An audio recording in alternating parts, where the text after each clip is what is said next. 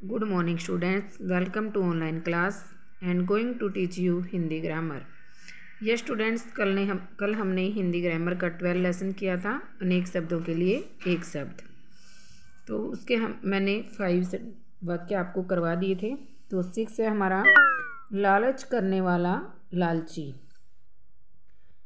तो हमें पता लग गया ना कि जैसे लालच करने वाला अनेक शब्द दिए हुए इसमें। लेकिन अगर हम लालची बोलेंगे तो उससे भी हमें पता चल जाएगा कि लालची कौन होता है? लालच करने वाला। जिसके आने की तिथि निश्चित न हो, कौन होता है वो? अतिथि। कौन होता है? अतिथि। जिसके हमें आने का पता ही नहीं होता, एक मतलब अचानक आ जाए तो उसको हम क्या बोलते हैं? अतिथि। जो चित्र बनाता हो, चित्रकार। मास में एक बार होने वाला मासिक, जिसके हृदय में दया हो, दयालु, जो पढ़ा लिखा न हो, अनपढ़।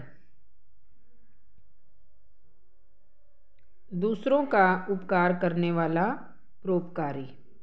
यह स्टूडेंट्स तो हम ट्वेल्व ही करेंगे तो इसको हम दोबारा करते हैं रीड लालच करने वाला लालची, जिसके आने की तिथि निश्चित न हो अतिथि, जो चित्र बनाता हो, चित्रकार, मास में एक बार होने वाला मासिक, जिसके हृदय में दया हो, दयालु, जो पढ़ा लिखा न हो, अनपढ़, दूसरों का उपकार करने वाला परोपकारी। यह स्टूडेंट्स तो ये सिक्स से ट्वेल्थ तक वाक्य आप अपनी नोटबुक में अच्छे से रफ नोटबुक में राइट करेंगे और इनको अच्छे से लर्न करेंगे। आज के लिए इतना ही। Thank you all have a nice day